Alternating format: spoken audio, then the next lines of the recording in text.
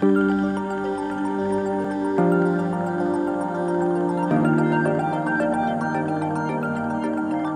evening, everyone, and welcome to a new episode of the COVID Connect series. USP COVID Connect is an online interview series where we speak to various leaders in the healthcare sector to get fresh insights on the impact of COVID 19 as we all navigate this crisis together. As we look at official numbers today, they paint a very grim picture. Globally, as of today, it looks like we have lost about 1.34 million people to COVID. And in India, the numbers show that we have lost 135,000 people. We are also hearing about resurgence of this virus in several parts of the world and in India in some cities. So we are today very fortunate to have with us Mr. Rajeev Sadanandan to talk about how governance plays a role in preparing for and handling this pandemic. Sadanandan is the former Additional Secretary of Health in Kerala. He is currently the CEO of Health Systems Transformation Platform, a not-for-profit organization incubated under the aegis of Tata Trust. Mr. Sadanandan played a key role in controlling the situation during the 2018 Nipah virus outbreak in Kerala. With his hands-on experience and expertise in managing pandemics in the state, he was appointed as the Chief Minister's advisor to combat COVID-19 pandemic in the state of Kerala. Welcome, Mr. Sadanandan. Thank you so much for your time. Thank you, Sireesha. Thank you for having me on this. So I will start off with the first um, question. I think it was January 30th when the first COVID case in India was reported in Kerala. And uh, when you began to plan to tackle this crisis, there would have been a set of hypotheses, some assumptions that Kerala may have gone in with, given your past experience. Now, many months down, uh, maybe we are about halfway through this pandemic, which of those hypotheses have turned out to be true? And what may have been surprises that you're seeing? And how are we doing against expectations you may have had in terms of controlling the spread of this virus and in terms of saving lives? You mentioned uh, Nipah experience. The crucial difference was in Nipah, we were caught by surprise. But here the advantage was that if you're tracking international health events, you knew about this uh, uh, epidemic in China. And since uh, uh, the epicenter of the epidemic is known, all you had to do was to watch for the uh, possibility of spread from that epicenter to wherever you are. And that's what Kerala did, watching people who came in from, from, from China. And as luck, luck would have it, they got uh, three cases and they were managed. What Kerala, for that matter, the whole world didn't, uh, didn't prepare for was that new epicenters will spring up in no time and create fresh areas of uh, problems. And then we had uh, Europe, uh, Italy, UK, uh, France coming up as epicenters that wouldn't have affected Kerala very badly, but Iran came up as one. From Iran, it uh, spread to the, all of the Middle East countries, and Kerala, as you know, has a has a very close link with the Middle East countries. And then the as these epicenters started coming in, uh, the uh, cases started coming in. But even at that time, because the people were coming in from known destinations, that was uh, that we could manage. The advantage Kerala had was that thanks to our experience of managing the Nipah uh, crisis, uh, our health workers were trained on how to uh, track, trace, and you know uh, do the contact tracing, prepare the route map, and then uh, watch people who were on who were who were likely to be uh, infected, put them on quarantine, test them, and so on. And then that went on. And, and if you remember, at one time, Kerala had the largest number of cases in the country. But that was because Kerala was doing a better job of picking up them up. Then the lockdown happened. A lockdown meant that Kerala would be turned into something like New Zealand, an island, you know, in which you would not get infection from other places. Then the strategy was full to full use, and then the whole you know uh, situation was brought under control. Uh, that's a time when Kerala earned a lot of attention. But even at that time, people like us were saying, everybody was saying that the moment this protection is taken off, the epidemic people would come in, the whole thing would uh, go up, and uh, community spread would start, and so on. even at that time, what was and, and there was this whole question of would Kerala welcome the migrants back? And the answer was yes, there are people will take care of them. Even at that time, the aim was Kerala has a depth of health uh, capacity.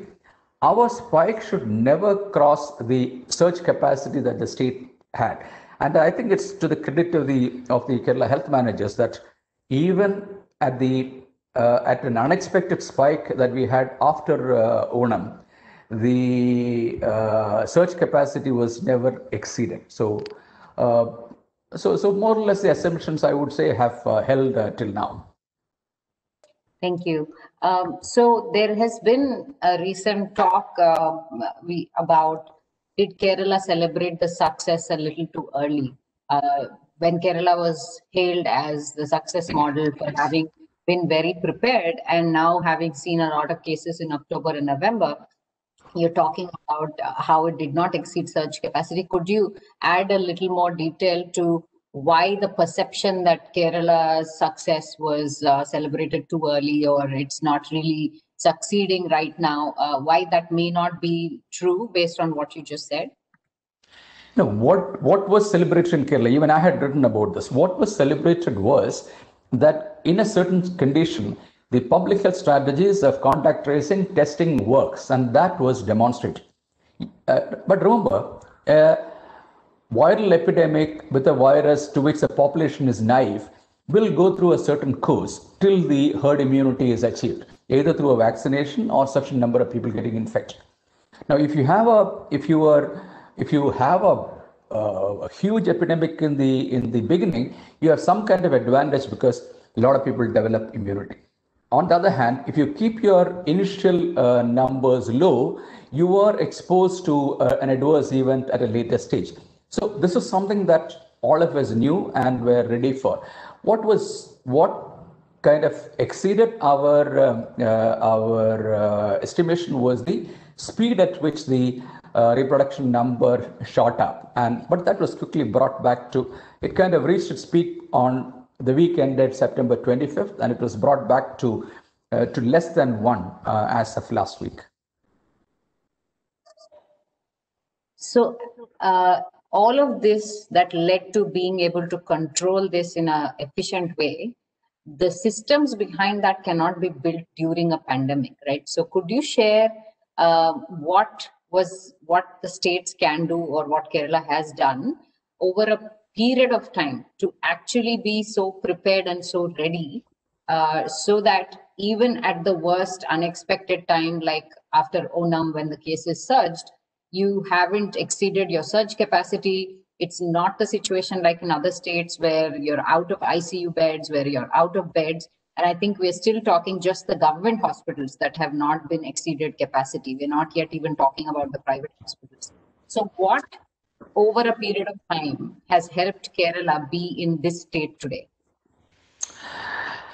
I think you have given me one hour, isn't it? I, I don't know whether it will be sufficient to cover all the topics that I think led to the success.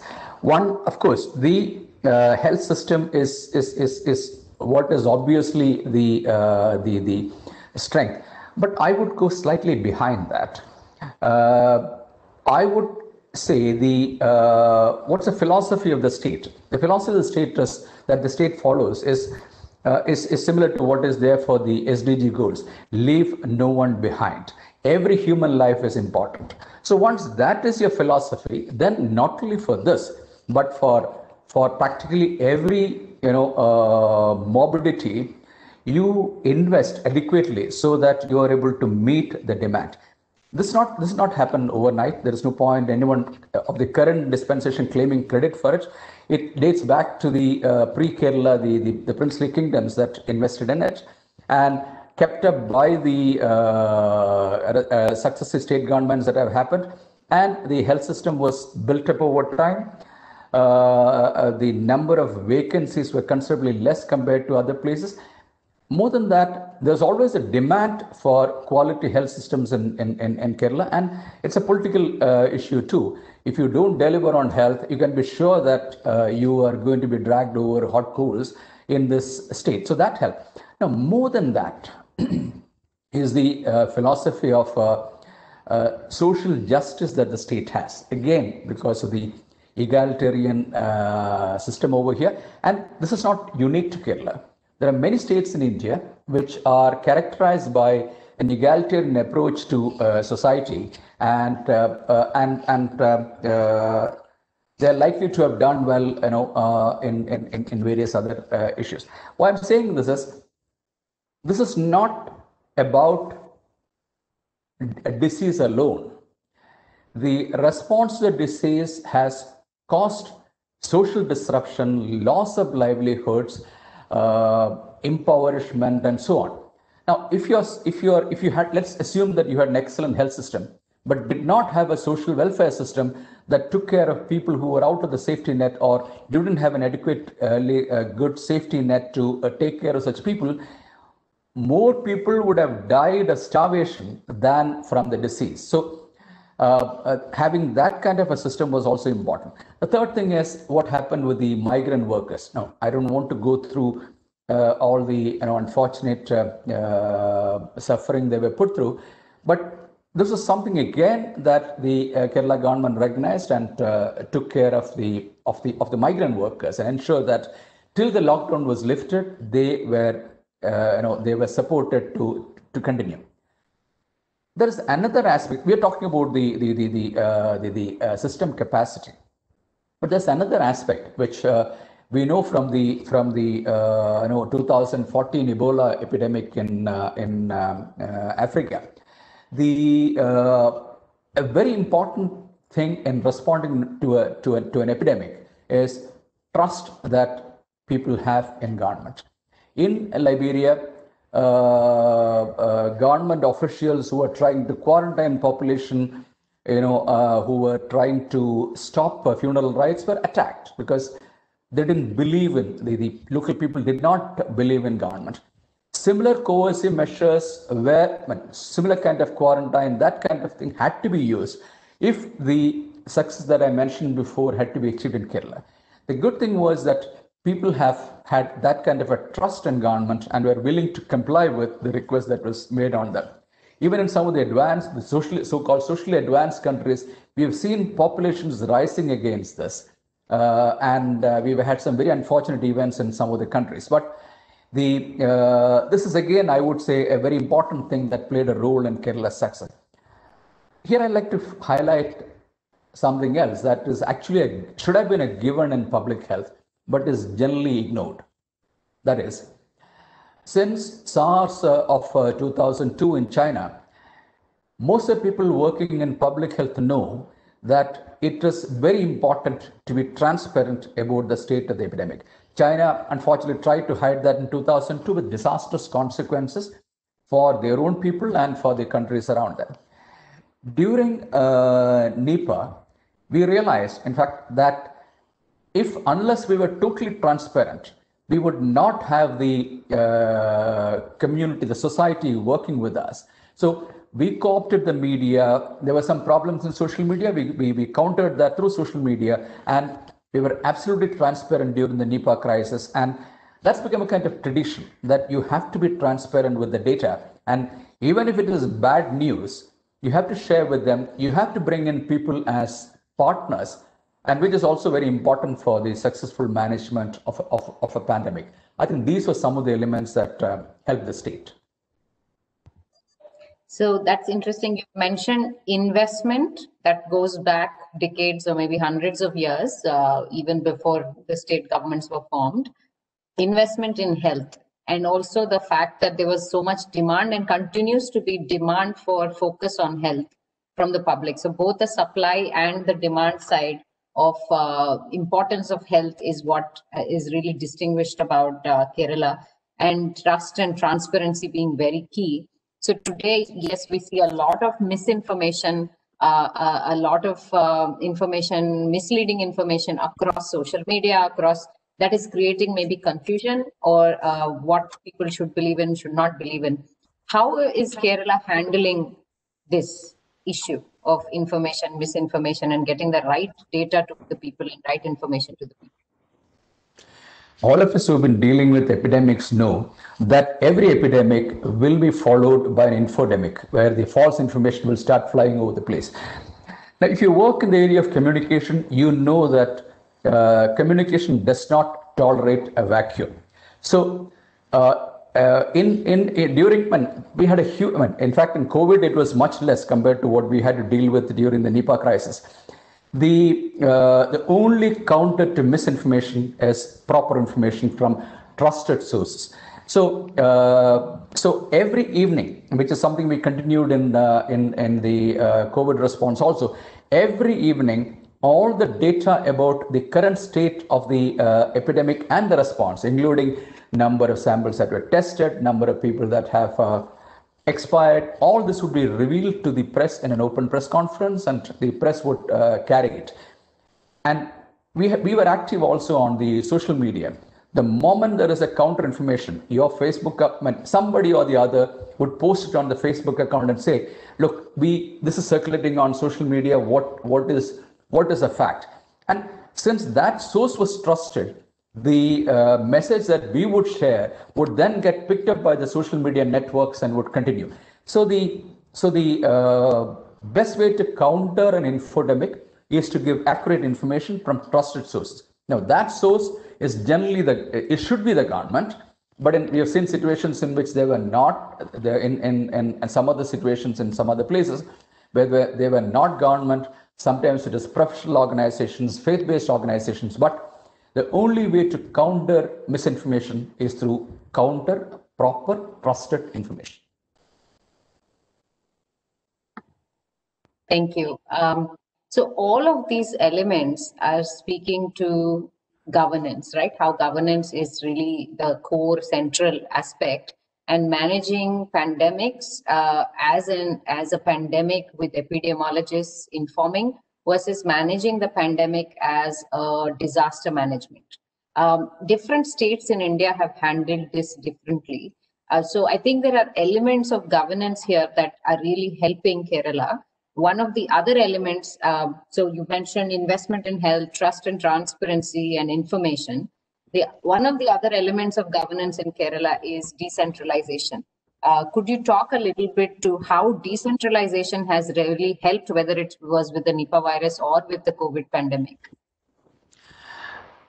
Uh, it is, I would say, one. Remember, governance is itself a reflection of the of the of the social norms. So uh, uh it's not it's not prop, it's not possible to have good governance in a vacuum. And that aside, it is wrong to assume that decentralization was a factor only in Kerala's response. Uh, I think it was Mr. Raghunandan who wrote that because government, central and state, were far away due to the lockdown, the local communities mobilized themselves. And we've heard about, you know, we've heard about uh, uh, uh quarantine centers being arranged by local people. We've heard about uh, social support being provided by local community. We've heard about uh, support given to to the to the to affected populations. Only thing is that it never got mainstreamed into the formal response. But decentralized response has been one of the hallmark of this pandemic, especially during the lockdown. The advantage Kerala has is that it is kind of formalized. The uh, Panchayat Raj uh, system, uh, uh the, that is uh, rural and urban local bodies in Kerala are fairly well, very quite democratic and uh, highly politicized, of course. But the way the system is structured is that uh, they have access to independent funds which they can use and also have access to um, and have uh, delegation of powers and control over institutions uh, which they can use. Now, in Kerala, all the health institutions from uh, sub-center up to district hospitals are under uh, under uh, uh, the Panchayat Raj system. Again, it's not unique to Kerala. Maharashtra has a similar structure. Gujarat has a similar structure. But the difference is that they also have money that can be used uh, in uh, improving the uh, systems, you know, in, in improving the condition of these hospitals. As I mentioned before, if there is a lot of demand for health or education, a, a, politician, an elected uh, uh, um, group of people who would like to do something popular would invest in areas that would earn them brownie points. That would be education and health. If you look at the uh, primary health centers after they were handed over to the uh, uh, Panchayat Raj institution that happened in 1996, their quality has really improved, and uh, and many of them now have been uh, certified under the NQAS system. In fact, the largest number of uh, uh, primary primary health centers have been have been certified in areas where the panchayats have taken uh, responsibility. Then during the uh, 2018 flood, since then they have also been made in charge of disaster management. The panchayats have systems to deal with uh, disasters. They can take you know social supportive measures and a lot of them did by opening uh, community kitchens, by taking care of uh, migrant workers, by helping people, the elderly people who were reverse quarantined, ensuring that they had access to uh, supplies and so on. So the so the advantage, and I believe it's not unique to Kerala. Anywhere that you you empower a local community, they will be more responsive to the local needs and the local response. Uh, let me give an give an example. You know, at a time when you know um, Kerala was uh, uh, was Kerala had Kerala had uh, divided the management system into four levels, and the lowest of them called the was called the COVID first line treatment centers, which was set up by Panchayat Raj institutions and supported by the local primary health center. But then some of the panchayats said, why are we setting up such large institutions? Why don't we take, why don't we ask local people to rent us small houses where the asymptomatic people could be quarantined. And that was an innovation that the, uh, the, the Panchayats came up with and the state government adopted later, which considerably improved the quality of life who were institutionally quarantined. So the you trust the local decision makers who have an interest in ensuring that they are acceptable to the people who put them in, uh, in uh, control, they will find ways of doing their job well because they know that their job is at stake. And I think that is the rationale of why Panchayat Raj institutions and urban local bodies should be at the center of this uh, of this response. Of course, this will work only if you have a good primary health care system because uh, if you put people on uh, in, in a quarantine center, they should be monitored and there must be a good referral system along with the transportation system which can um, transport them to upper centers if there is a crisis. Uh, without that, it won't work. So the uh, uh, in in in this uh, management, a lot of focus have been on ventilators, on tertiary hospitals. What people forget is that uh, more than 80% of people will not need these kind of facilities, but they will need to be monitored. They will need to have access to quality care. So the I would submit that the emphasis should actually be on strengthening your primary care system and your secondary level system and not uh, the way it is being done now, not focus on tertiary hospitals. Thank you. So decentralization uh, and the empowerment with local bodies really helps because also you're kind of saying that it is not just that they can execute at the local level, they actually have funds uh, to make the decisions they need to make at the local level uh, that are immediate and required and they have a better visibility to. So that kind of empowerment is probably what's driving uh, the success and the results. I'm going to switch gears a little bit to quality and we, we, you know, how improved governance can keep a check on whether it is falsified medicines, falsified or substandard medicines or products. So the market was flooded in uh, during the COVID pandemic with substandard PPE kits or face masks or sanitizer for pulse oximeters, uh, maybe even medicines. So uh, a strict kind of quality check needs to be done. And how can improved governance help with something like this? At the beginning of this interview, you said that you know uh, systems have to be in place before the pandemic, um, you know, uh, I mean, epidemic starts. That's not fully correct. We've seen cases in which after the epidemic started, people have kind of scrambled and uh, uh, forces and have mounted good response. But what you just mentioned, like uh, systems of quality control, it's a it's it, it's a way of life. It's a way an organization functions.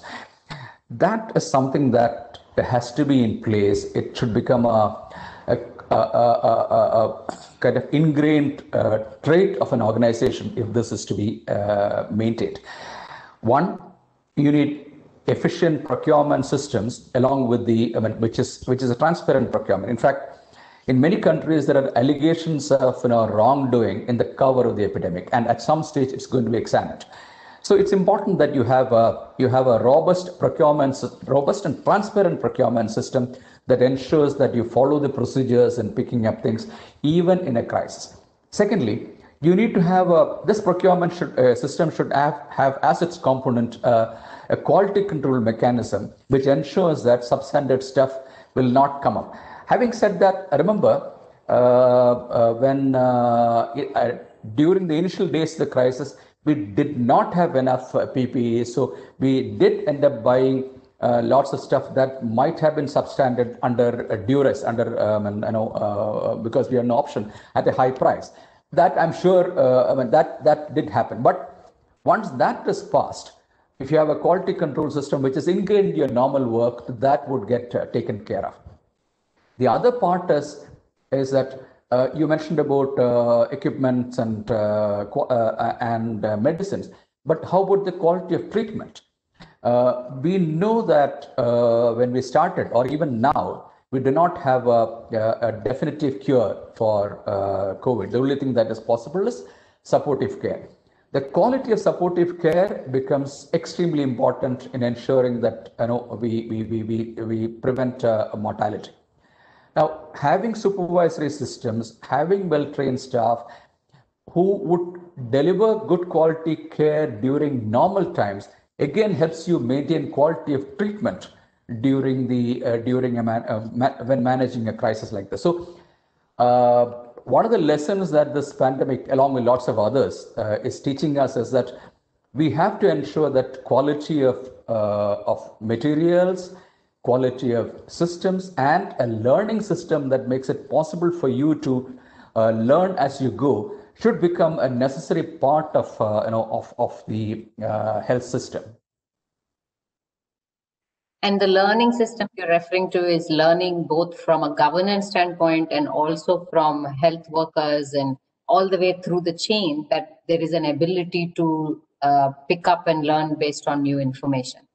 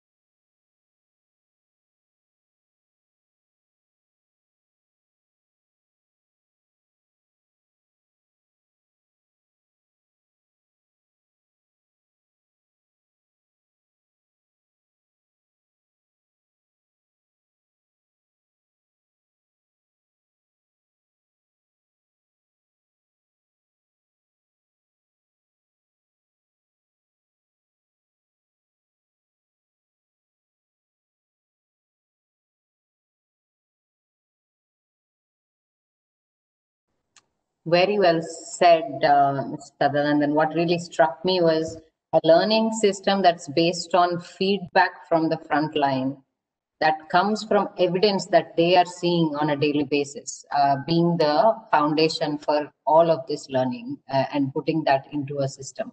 That's great. Thank you for that. I'm going to switch to technology and how can we use technology uh, for containing COVID? How has it already been useful for public health in India in reality? And what do you see its role for future governance of healthcare? Uh, technology actually has come in uh, as it, it, it's, a, it's, a, necessity being the mother of invention. For example, uh, we've never been very friendly, I mean, the medical profession has never been very friendly to telemedicine. But when the lockdowns happened and when people needed to consult, both government and private devised systems by which people could remotely you know, uh, uh, consult. For example, you know, in the past, we had uh, developed a system by which cancer patients on routine chemo would be routinely managed, would be managed in decentralized centers. You know, it's a system that we developed actually for decongesting the tertiary care centers. But when the pandemic struck and people couldn't move, these centers were repurposed to actually become management centers where uh, where special where the trained you know physicians who were anyway managing the routine chemo now started becoming the eyes and ears of the of the specialist and then reporting back to the specialist and uh, uh, prescribing in partnership with uh, on, on, on a collaborative mode let's assume that going forward this is something that we need to work on and uh, and uh, but we also need to have supporting systems to uh, take care of this. For example the quality of of remote management would have been considerably improved if we had adequate number of point of care diagnostics where you know things will uh, things could have been fed back to the uh, to a to a to a, a place to uh, read and, uh, uh, and and and prescribe there have been um, um, area there have been effort at remote reading of of CTs for diagnosing stroke to prevent the time to treatment. There have been cases in which massive screening of uh, diabetes cases through fundus photography and uh, remote reading either by a trained optometrist or AI have happened, but these are sporadic ones. Going forward, once we realize that we will need, we may have to live with, uh, we may need to reconfigure the system for technology. We may have to invest adequately in, uh, in um, uh, point of care diagnostics, validate them. We have never taken them seriously. We may have to look at uh, Remember, in the uh, when a clinician moves from face-to-face meeting to a to a uh, remote um, management, he or she is letting go of a lot of uh, information that comes otherwise. Now that has to be made good by you know uh, by technology. Uh, point of care, remote diagnosis are one method, but the other one is to have longitudinal data on the patient available to the to the clinician, to the to the to the doctor. How does that happen? You will need to have uh, you will need to have dedicated primary care doctors who continue to deal with patients uh, uh, continuously, or you will need to build up electronic health records that is that are available to the clinician, and better still, have backend algorithms that can analyze this data and prompt the uh, clinician saying, "Look, boss, uh, I think you should be looking at this or you should be looking at that." which will kind of compensate for the uh, the the uh, loss in information that will happen when a clinician uh, manages things remotely. But we're talking about change of mindset. We are talking about uh, change of systems. We are talking infrastructure. But I think going forward, it it is imperative that we start looking at this uh, seriously. Thank you. And do you think there's a role that technology can play in dissemination of vaccine, uh, given the big challenge of vaccine distribution that we will have on our? Sadly, I don't think there will be a major challenge because if you look at the uh, the availability of the front runner now, that is to the Oxford or the AstraZeneca vaccine, uh, the amount of vaccine that will be available uh, may not pose a major challenge of uh, distribution. In fact, the supply chain is, um, unless we get all the uh, ones that India is kind of signed up to, even then the, uh, I believe this is something that will be managed, that can be managed by the uh, current uh, system and, and the central government is, I mean, all governments are stepping up the investments and um, I do not anticipate a major uh, delivery constraint in, in, in, vaccine delivery. But in terms of generating data sets, who should get it, uh, prioritize, and all that, yes, uh, technology could be extremely useful. Thank you. I think some folks joined a little later. So, in a quick summary of what really led to Kerala's success, we talked about uh, investment in health that has happened over a long period of time in Kerala, both from a supply side and from a demand side. Uh, trust and transparency that the state government has built uh, with the public has really helped in getting um, information out there and making sure that even bad news is conveyed, conveyed so that there is trust. And when the government is making certain suggestions, that the citizens take it seriously.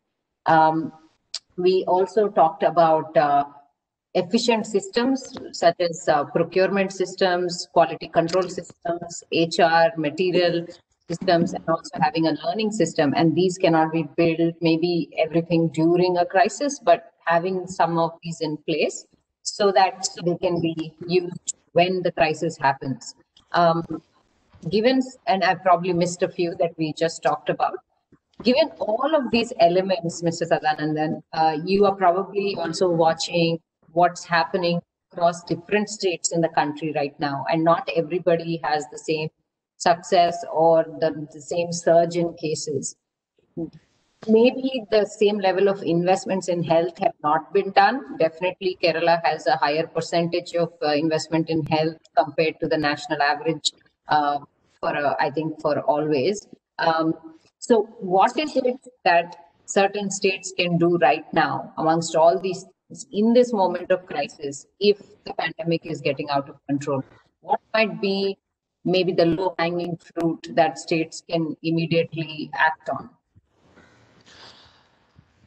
Well, um, uh, if you start with what happened in Wuhan, the Fangcang hospitals, that is the Greenfield hospitals being set up.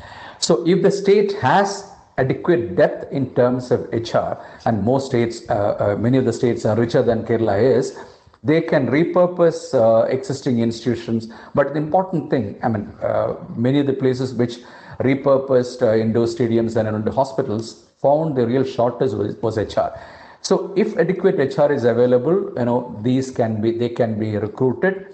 Uh, my request is this crisis is also an opportunity. So don't go for please don't go for uh, temporary contractual employment create those posts. You're going to need them. And then you know uh, uh, right from multi-purpose health workers the nurses the doctors uh, recruit them. Because the you're training them and that's an, that that is a that's a resource that should not be lost. And i think uh, the uh, an immediate um, you know uh, expansion of capacity uh, building capacity and some bit of task shifting. For example, there is no reason why you know uh, uh, asymptomatic or even uh, mildly symptomatic patients cannot be managed by, uh, by, by, by, by nurses. If you're short of doctors, train nurses, give them confidence, give them support.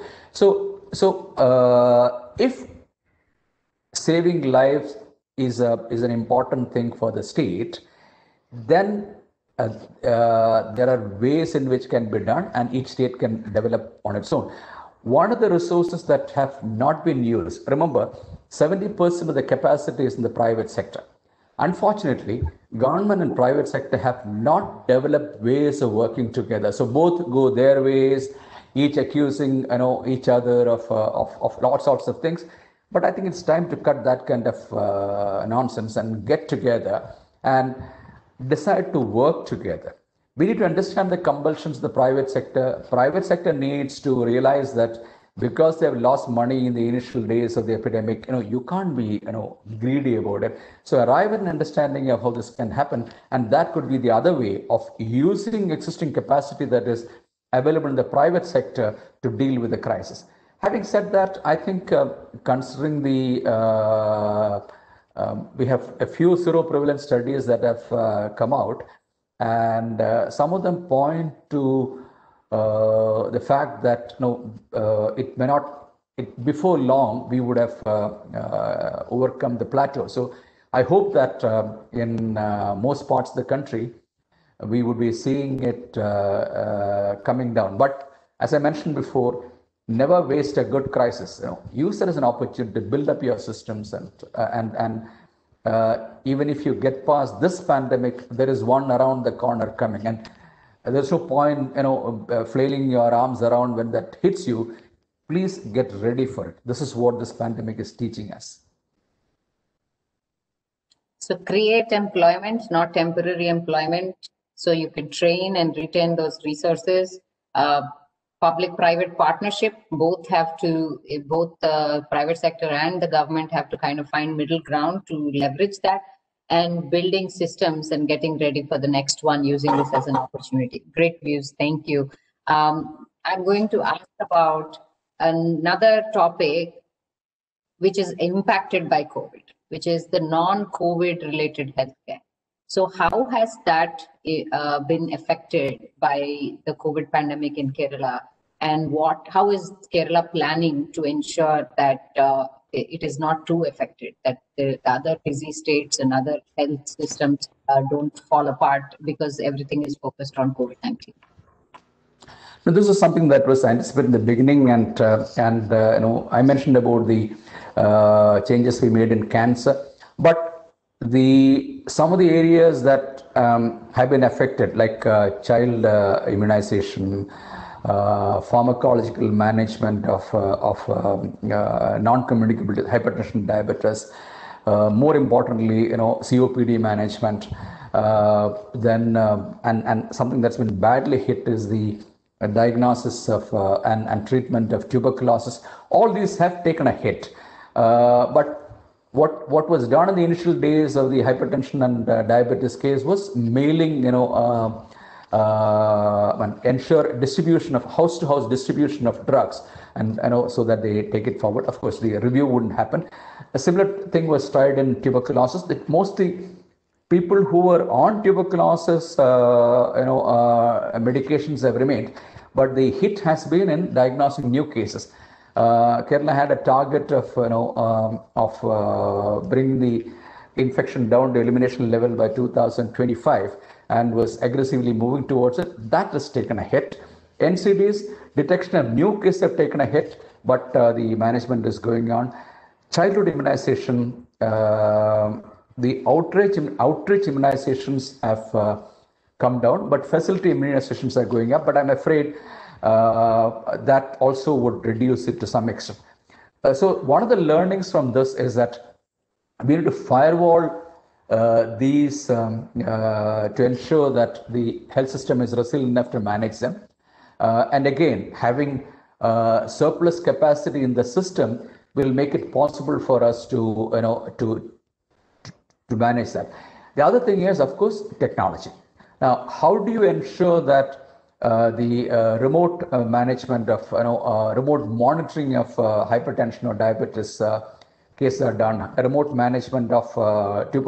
In fact, one of the reasons, one of the causes that helped uh, better treatment of tuberculosis was the use of technology by the National Tuberculosis Control Program. Similar uh, measures will, will have to be developed for, uh, for hypertension diabetes. But programs will uh, take a hit, and the, the best thing to do is uh, mop it up as soon as the crisis is over. So the, the planning itself assumes a little bit of the hit can only be um, addressed once we are post COVID-19 pandemic or is there a slow, I mean, is it a slow pace, but we are addressing non-COVID treatments at the moment, or some of these things have to pause until only, only the only the pharmacological management of those diagnosed treatments is is, is, is, is, is going reasonably well. Immunization, because there's a huge demand for it, will uh, will will be maintained even if it is at the facility level. But uh, the progress towards you know detection of larger cases. For example, uh, our hypertension management uh, was boasting of a 60% uh, compliance level. We are now down to 38%. So so so so so. But but this is something that to be uh, recouped, you know, as we come out of the crisis. The next question is about some of the complexity around managing a crisis in health comes because health in India is a state subject, but there's a lot of coordination that has to happen with the center as well. So, how does that work usually, and how is it working during this crisis? Uh, while health is a state subject, the um, managing the spread of infection between different states is a central subject. I mean, only the central can do it. So, uh, uh, but in this pandemic, what has happened? What has what has uh, been disturbing is that instead of an epidemic uh, uh, or a public health act, it's a disaster management act that is used. I hope we'll never have to do that in future because that is, I mean, that is just not acceptable.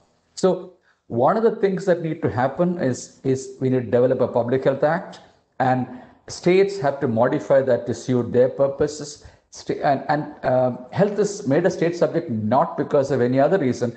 The, the health is always managed closest to the population. So there is no way that a national, you know, pan-national uh, strategy can work, and that is why many of the states have led on this, and that's the way it should be. And uh, uh, but but the uh, but a major problem is there in the federal fiscal relations. The uh, again, it's not related to health, but most of the subjects that need elastic investment, that is uh, advancement, more important investments are with the states, but the elastic revenues are with the uh, center. So uh, the and and and you know the you know the crisis that hit the uh, federal fiscal relations during this period. So going forward, it will be important to uh, to ensure that that is also taken care of. But there is no escaping the need for states to uh, you know pull up their socks and uh, you know uh, start investing on it.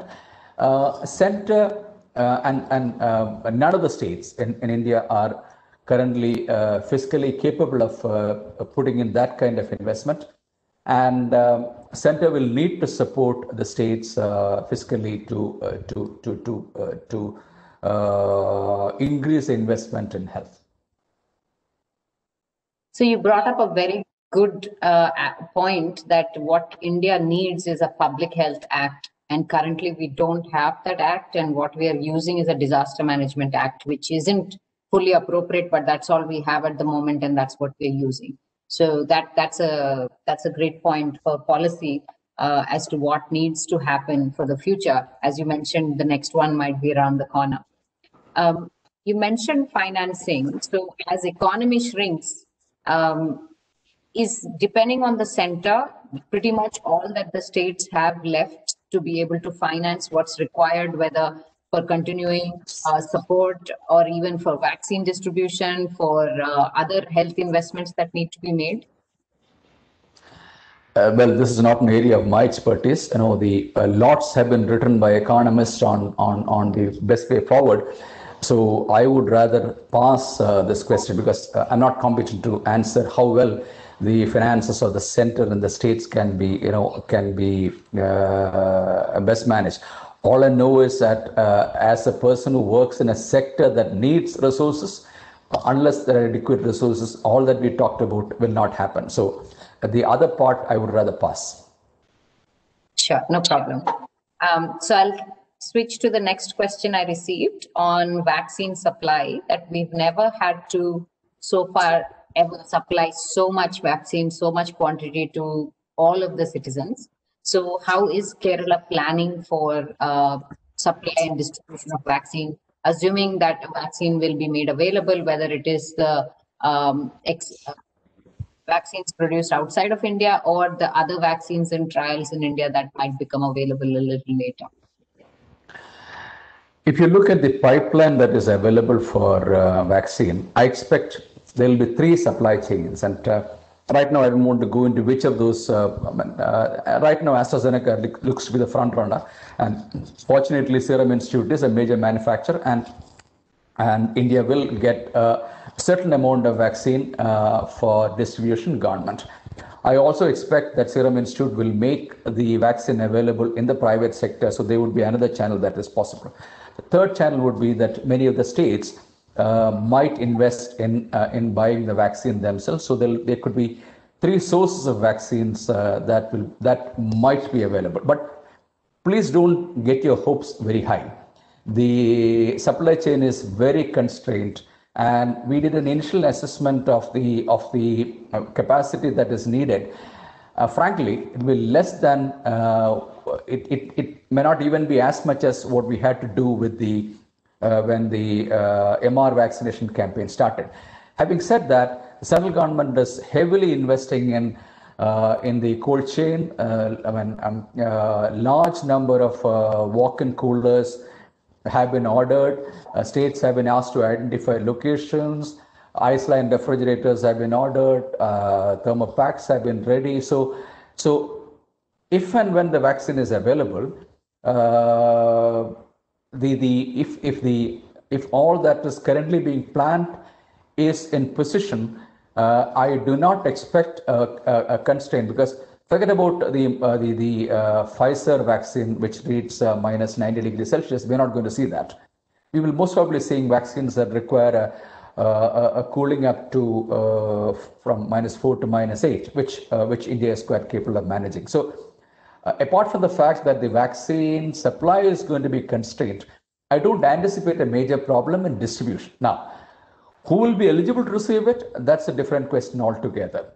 Right now, we're clear that health workers will get priority. But after that, what will happen? I think we'll be seeing the uh, issue unfolding as we go forward.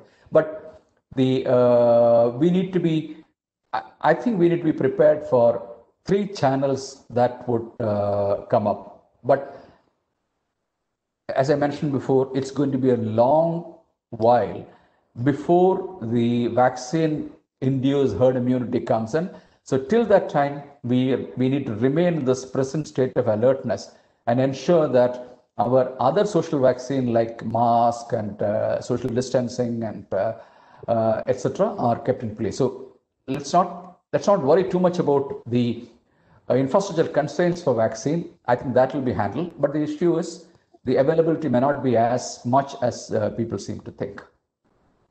So, given what you just said, how long do you think in India we might be having to follow the norms to keep ourselves safe, whether it's social distancing, masking, all of the precautions, washing hands, uh, all of these precautions we're taking right now? How long do you think we might be in that mode?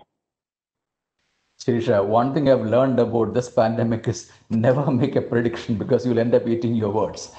so, so I, I would not hazard that. But let's look at what we have now. You know, we have uh, AstraZeneca that is on the last stage. We expect the results to come in any time now, uh, which means the vaccine should be available in I mean, after March, uh, even though earlier expectations are there. But realistically, March is when we should see. Now, the uh, Sputnik 5, uh, the trials have uh, just started. if, we, if we do it well, which we should be able to do it within the next three months and uh, if uh, the their the Indian counterpart is able to manufacture them, that should be coming in let's say June, uh, July or something. The other one we have a large contract with, which is Novavax. Uh, that is yet to get, I believe, yet to get into the phase three trial. Even in the US, uh, the phase three trials are nowhere near where the other frontrunners are.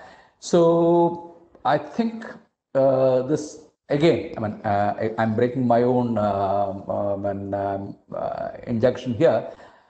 I think this will go on, you know, again, uh, uh, there's another mode of herd immunity that will happen, which is uh, the level of infection. So we are looking at the middle of, at least the middle of 2021 before, you know, it, it will not go back to normal, but at least the current panic, I think, should be coming down. Again, don't hold me to my prediction. Thank you. So uh, probably one of my last questions is, do you think it should be free for everybody in the country? And do you think it might be free or subsidized? What I expect is the uh, government will find it difficult to charge. So the government supply uh, will be free. I mean, it's difficult to think of it being done. But uh, as I mentioned before, there will be other supply sources. The, uh, the, the, private source certainly is going to be paid for. Uh, I don't know how much that will be there. But if your question is that will government vac- will government vaccine be charged, the answer I would say I don't think government has an option of charging. So yes, I expect that to be free. One last question was, uh, what is your opinion on the low death rate in India for COVID compared to maybe some of the other countries? See, there are two uh, death rates that we talk about during an epidemic. One is the case fatality rate. The other one is the fatality rate of infection, or you know. Now, the good measure would be the fatality rate of infection. Of the total number of infected, how many died? Unfortunately, that uh, denominator is not available for us. So your case fatality rate uh, is, is, is indexed on uh, how many patients actually report to hospitals. So if you are, uh, when Kerala claims that the case fatality rate is low, the question will be that are their denominator larger than the other states and is that why they're reporting a lower case fatality rate? On the other hand, you have a state in which the people do not go to hospitals uh, uh and, and, and, and, and die at home.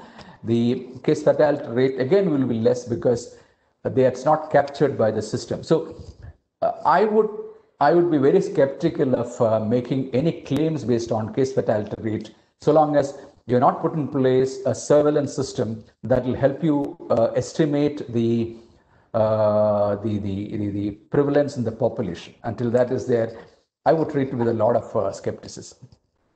Got it. Thank you. We are right on time and Mr. Sadanandan, this was very, very useful to us. Uh, a lot of good tips for other states as well, and an understanding of what led to Kerala being able to successfully manage the pandemic uh, to the best that it can be.